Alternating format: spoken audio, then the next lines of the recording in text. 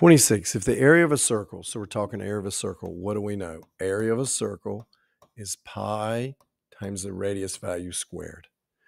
It actually, instead of telling us the radius, it says, hey, the answer, this area is 380.13 squared centimeters.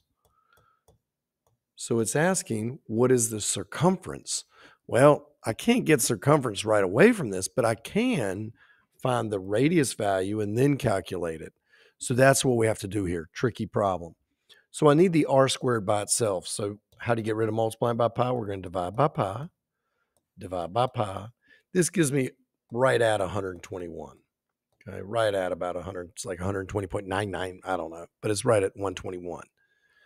So how do I get r squared? I take the square root. r is 11. So we're dealing with a circle that has a radius of 11. I now can get the circumference. Pi times diameter, pi times, well, the radius is 11, so what's the diameter? 22.